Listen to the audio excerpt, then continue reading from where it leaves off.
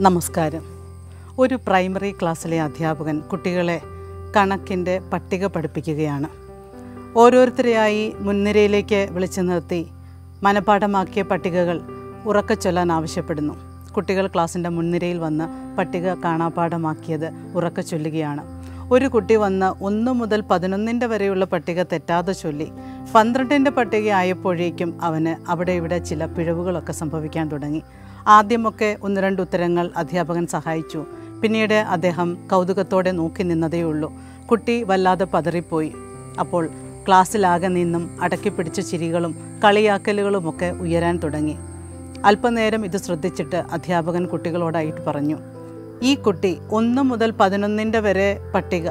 തെറ്റാതെ ചൊല്ലിയപ്പോൾ നിങ്ങൾ ആരും ഇവനെ അഭിനന്ദിച്ചില്ല മറിച്ച് ഇവൻ പന്ത്രണ്ടിന്റെ പട്ടികയിലെത്തിയപ്പോഴേക്കും അല്പസ്വല്പം പിഴവുകൾ വരുത്താൻ തുടങ്ങി. നിങ്ങളെല്ലാവരും അവനെ കളിയാക്കാനും തുടങ്ങി. ഇങ്ങനെ തന്നെയായിരിക്കും മറ്റുള്ളവർ നിങ്ങളോടും ചെയ്യുക.